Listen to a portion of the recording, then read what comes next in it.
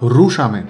Tym razem wybieramy się z Gruzji do Armenii, do krainy katedr i klasztorów, aby przyjrzeć się im z bliska, by poznać ich mroczne historie.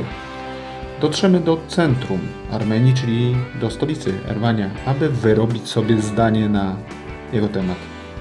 Następnie przez zupełne bezdroża dotrzemy do Armenii, która rozkocha zupełnie nas w sobie, gdzie natura i tradycyjna kuchnia tworzą jedność. Następnie udamy się do Gruzji, zbadać niesamowite miejsca, w których jeszcze nie byliśmy oraz te, które już doskonale znamy. Po czym wyruszymy w góry Kaukazu, tam gdzie nie stanęła jeszcze ludzka stopa, a przynajmniej nasza. Zapraszamy!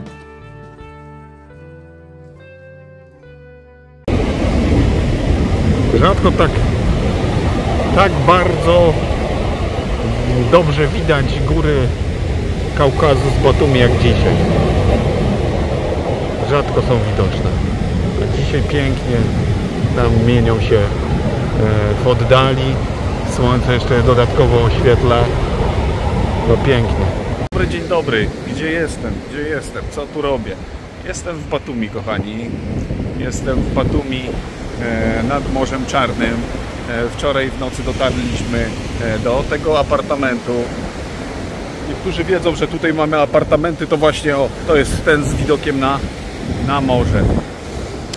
Tutaj przyjmujemy gości e, już kilka lat. E, w tym roku około 20 grup przebywało w naszych apartamentach, które się znajdują z widokiem na morze.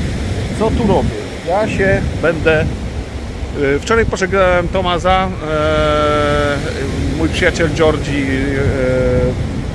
e, zorganizował mu apartament, bo nasze były oprócz mojego jednego wszystkie zajęte, dlatego zorganizowałem mu nocleg z Georgim, aby mógł dzisiaj na spokojnie mm, wrócić do domu po odpoczynku. Ja co będę robił? Będę się teraz przygotowywał do wyprawy w tamto miejsce. Tu widać dzisiaj pięknie, bo rzadko widać tak pięknie góry Kaukazu z Batumi. Zazwyczaj jest jakaś mgiełka, widoczność nie jest tak piękna jak dzisiaj, naprawdę. I one dodatkowo jeszcze są oświetlone e, słońcem wschodzącym. Dlatego piękna jest widoczność i mogę Wam pokazać z Batumi, gdzie właśnie się wybieramy. Wybieramy się tam, w góry, w Kaukaz. Jedziemy do e, mm, pięknej krainy Sfanetki, e, do miejscowości górskich takich jak Mestia, jak Uzguli. I stamtąd dopiero będziemy wracać do domu. Także przed, na, przed nami, przed nami e, wspaniała kaukaska przygoda, za którą Was serdecznie zapraszam. Na razie odpoczynek w Batumi. Dwa dni relaksu. Trzeba się nagrzać. Trzeba się przygotować, a bo tam będzie troszeczkę chłodniej. Na szczęście oglądałem pogodę. Będzie słoneczko piękne również, bo będzie chłodniej. Na chwilę obecną chcę spędzić te dwa dni w Atomu, grzejąc się na słońcu, wygrzewając się na słoneczku i podziwiając te piękne widoki Kaukazu. Organizacji czas start, ale organizacja należy zacząć od śniadania nad samą promenadą są nasze apartamenty, ale tutaj za mną znajduje się sklep gruziński. Lubię do gościa zachodzić. Zaszedłem po banany świeże, ser świeży, kefirek. No i kupiłem proszek do prania. Pierwszy dzień przygotowań do Kaukazu. Trzeba zacząć od porządnej przypierki ubrań, które są już brudne. Ale najpierw śniadanko, później pranie, a później zwiedzanie badania. A teraz okiem kamery zobaczymy, jak wygląda przeciętny, normalny dzień w Batumi. No comment, zapraszamy.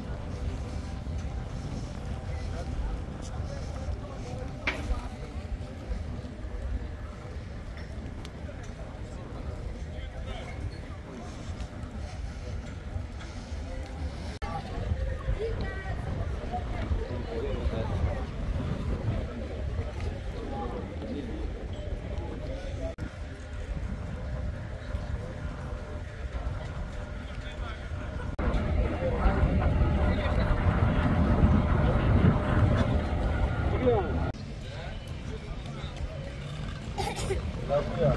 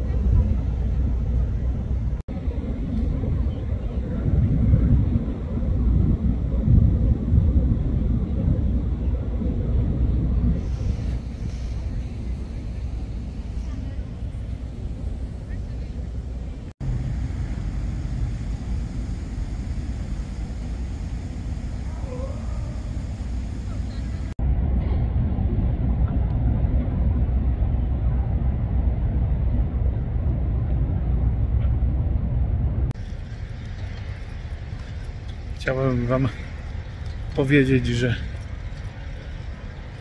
w październiku Batumi może być niesamowite, niesamowicie ciepłe. Około 26 stopni. Piękna pogoda. Pomału załatwiam to, co mam do załatwienia. Pranie. Zamawiam z Georgiem samochód 4x4, ponieważ będzie nam potrzebny. Płaciliśmy kaucję na wynajęcie i tak dalej, i tak dalej. Także jeszcze dwa dni pełne słońca, z dnia na dzień ma być coraz cieplej, coraz ładniej. Odpoczynku w Batumi, relaksu, nagrzać się trzeba będzie przed chłodniejszymi dniami, ale myślę, że ta pogoda, co jest, da mi to, co potrzebuję, żeby zdobyć Kaukaz. Jest pięknie.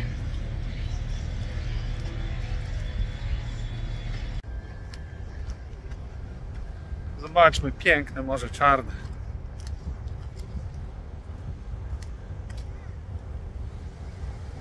Ono nie jest tak, tak takie urokliwe, jak potrafi być Morze Jońskie w Albanii, jak Morze Jońskie w Grecji, piarza kamienista, ale morze jest niesamowite. Uwielbiam się z nim kąpać. Ta woda wydaje się taka bardziej jakaś naturalna. Dziwne uczucie. Trudno mi o tym powiedzieć. Taki bardzo, bardzo ciepły bałtyk. O. Super morze.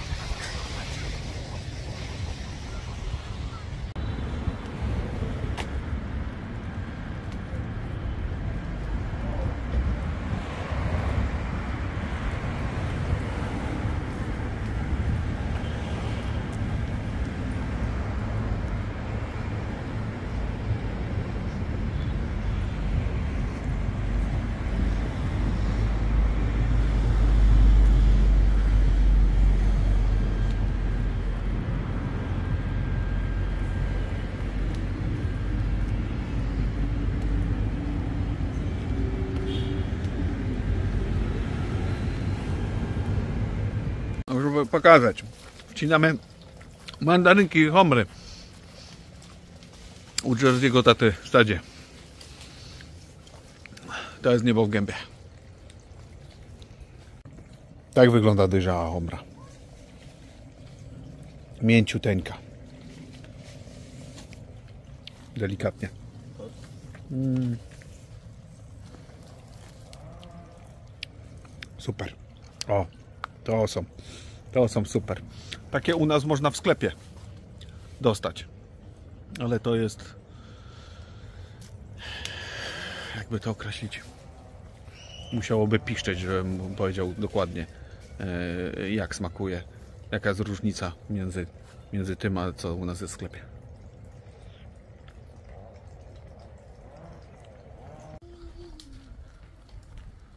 Może widzieliście, może nie, ale tu mieszka Georgi. To jest jego mamy i taty dom. A to jest jego papy sad mandarynkowy. W tym miejscu tu też przyjeżdżają goście i tu gościmy. Mama jego przygotowuje wspaniałą kolację dla naszych gości. Teraz Wam pokażę, jak wygląda widok na, na Batumi stąd. O! Złapię zooma. Teraz. O, w tym sadzie mandarynkowym na zboczu Adziarskich Gór. Witamy gości. I tutaj mogą spożywać wina papy, czacze papy i kuchnię mamy. Chciałem Wam tylko powiedzieć, że te mandarynki są dobre już. Są zielone, ale są już pyszne. A humra, zaraz zobaczycie, jak humra smakuje. Spróbuję Wam to przedstawić. I tutaj w tym miejscu, w tym miejscu gościmy gości. A tutaj rodzina, rodzina Dziadziego, Aj, ma, małe Gruzini, małe, mali Gruzini. No? I tutaj jeden, i tu jest drugi. To mojego brata, nie dzieci. O, idziemy tam po do Hummel. Pokazać, to jest tabaka. Tabaka papy.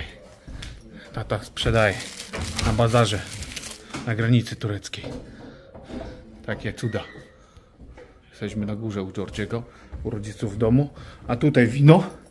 Wino. Super wino papy. Aha, i papryczka.